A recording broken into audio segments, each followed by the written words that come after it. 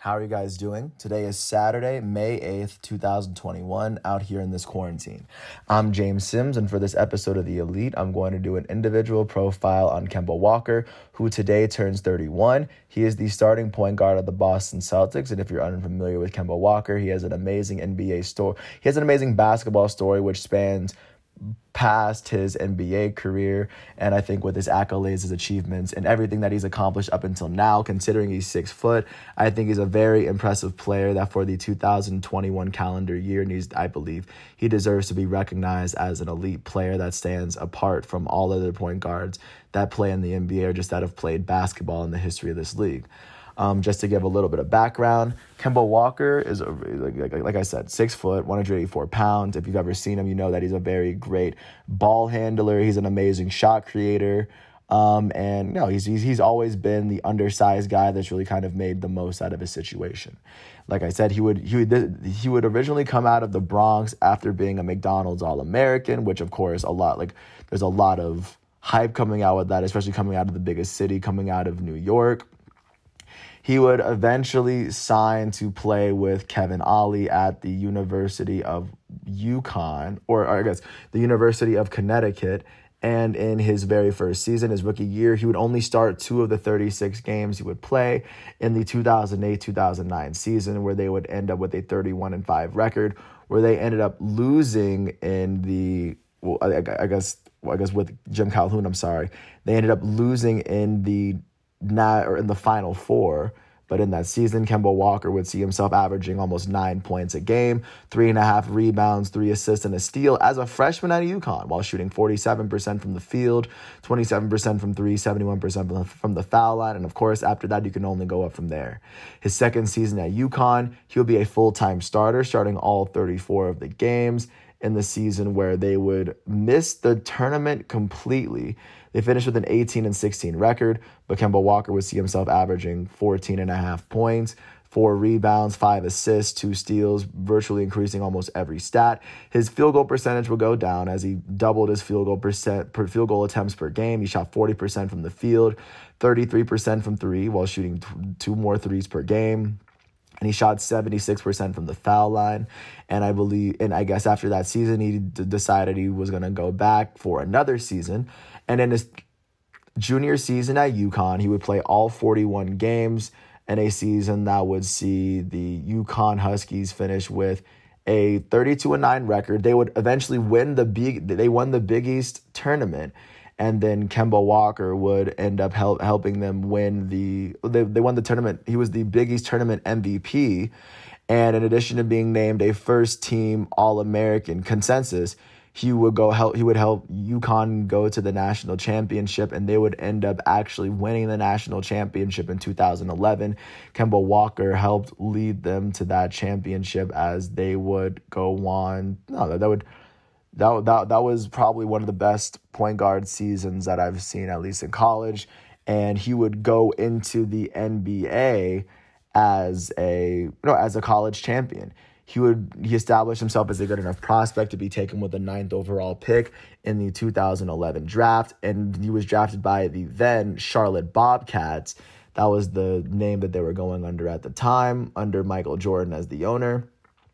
And he would start his career in his age 21 season in 2011 2012. This is the season, I believe, that had the that had the shutout or the, the lockout but in this 2011 2012 season, the Bobcats would have the worst record in the NBA as they finished with a 7 and 59 record. Kemba Walker would start 25 of those 26 games. This would be the only season in which, or this would be one of two seasons in which, or the, this would be the only season in which he didn't start the majority of his games um, in, in, in the league. In the 27 minutes that he was averaging in his very first season, he was averaging 12 points, three and a half rebounds, four assists, all while shooting 36% from the field, 30% from three, and 79% from the foul line. Um, as he was, he wasn't necessarily recognized as one of the best players, but he was, uh, he was one of the better players on what was the butt of the the of, of the worst NBA jokes because the Bobcats were and they were very terrible that year. But of course, Kemba Walker was a bright spot on that season. His next season, he would start all 82 of the games that he would play in the 2012 13 season, where the Bobcats would finish with a 21 and 61 record. They had the second worst record in the entire Eastern Conference. Kemba would see his minutes per game rise by about seven and a half as he saw as he started averaging 17 and a half points per game, three and a half rebounds, 5.7 assists. He averaged two steals. This is the most amount of steals he'd ever average in a season in his career up until now. Well, I guess for, uh, from now he's never averaged two steals in a season since, actually. He would go on to shoot 42% from the field. He would shoot uh, 32% from three and 70 or 79, 80% from the foul line as the Charlotte Hornets or the Charlotte Bobcats would completely miss the playoffs again. But of course, Kemba Walker was still starting to become recognized. He would get a bigger role in the team as as the time continued. His third season in Chicago was aged, or his third season in Charlotte was in 2013 2013. This is the last season that the Charlotte Bobcats were going by that name. He would start all 73 games in a season where they would finish with a 43 and 39 record. They made the they actually made the playoffs in their very last team under that name. They would win 22 more games than the previous year. Uh, Kemba Walker would, of course, see his points per game stay up say at 17.7. His rebounds increased from 3.5 to 4.2 as his he, he averaged 6.1 assists. The first time he'd averaged six assists in a, or the only time in his NBA career which he's averaged at least six assists per game in a season. He averaged 1.2 steals, all while shooting 39% from the field, 33% from three, and 83% from the foul line. The first time in his career he shot at least 80% from the foul line. Once they made it into the playoffs, the Bobcats would end up losing to the Heat in the first round. The year the Heat would end up losing to the Spurs after they had their two after they repeated. Um, the very next season, the Charlotte Bobcats would change their name to the Charlotte Hornets. And then, of course, like of, of course, Kemba Walker would be the kind of the face of this new franchise with a new name in a new city. In 2014 15, in his fourth season in the league, he would start 58 of the 62 games that he would play in in a season where the Hornets finished with a 33 and 49 record. They had won 10 less games in the previous season, as of course, Kemba Walker missed a bunch of the games because he was uh, due to injury. He averaged one less minute than the previous season. He would average 17.3 points, which is what he was doing the previous seasons. He was averaging three and a half rebounds, five assists, a steal and a half, half a block a game all while shooting 38% from the field, 30% from three, which was the lowest up until that point what he had been shooting. He was shooting, and this is the second year in a row he shot at least 80% from the free throw line. Following this season, he would start to see his uh, he, he would start to see his production tick up a little bit from here, and from then you start to see him start to become a better player. In his fifth season in Charlotte in 2015 2016, in his age 25 season, he would start all 81 of the games that he would play in in a season where the Hornets finished with the sixth best record in the East. This is the last time that the Hornets had actually made the playoffs to date. He would they would finish with a 48 and 34 record in this season, Kemba Walker would go on to average 20.9 points per game. The first time he'd ever averaged 20 points a, a, game in a season. He averaged 4.4 rebounds, which is the most he'd ever averaged in a season up until that point, and tied with 2019 for the most he's ever averaged in a season. He averaged 5.2 assists, the third, the fourth season in a row in which he averaged at least five assists per game. 1.6 assist or 1.6 steals per game, averaging more than one steal a game for the fourth season in a row, all while shooting 42% from the field, 42.7, the highest field goal percentage yet. He shot 37% from three, which is the highest three point percentage he had shot up until then. And he had shot 85% from the foul line shooting a lot better in almost every metric while get while of course increasing his production. He was not yet named an all-star, but of course he was on the watch of a lot of Uh, a lot of people were starting to become aware of who he was. And once the Charlotte Hornets made the playoffs, they would lose in the first round to the Heat. And this is in 2016 when the Cleveland Cavaliers would come from behind and win the NBA Finals. Ever since the Hornets haven't made the playoffs, but of course, Kemba Walker has still been a reliable player. In his very next season, which would be his sixth season in Charlotte, he would make his very first All Star game. In 2016 17, in his age 26 season, he would start all 79 games for a Charlotte Hornets team that finished with a 36 and 46 record. They won 12 less games than the previous season. And in those games, Kemba Walker would average 23.2 points per game. He would see his points per game increase. His rebounds dropped a little to 3.9. His assists stayed at about 5.5. He averaged just over a steal per game, like a 5.5. That's the fifth season in a row, by the way, in which he averaged at least five assists.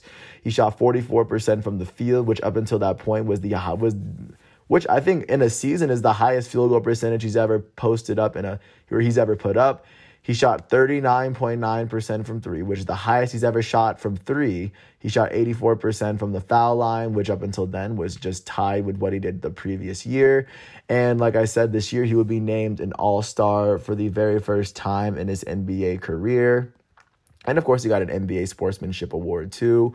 Um, but, but of course, being recognized as an all star that early, just after everything that he's been through, considering how small he is, it was a very big accomplishment. But the big thing is that he continued to show consistency um, as his time went on. In his seventh year in Charlotte, he would start all 80 games in a season where the Charlotte Hornets would finish with a 36 and 46 record for the second year in a row. Um, that is that would that would have been the or that was the 10th best record in the Eastern Conference. In his second consecutive All-Star season, he would see his minutes stay at about the same. He was averaging 22 minutes, just a little a tick below what he did the previous year. He saw his rebounds per game drop from 3.9 to 3.1. He was still averaging 5.6 assists per game. This was the sixth season in a row he averaged at least five assists. Sixth season in a row he averaged at least uh, an assist per game, all while shooting 43% from the field, 38% from three, and then 86% from the foul line. Even though they missed the playoffs, Kemba Walker being recognized as an all-star point guard for the second year in a row. I mean, that, that was really saying a lot.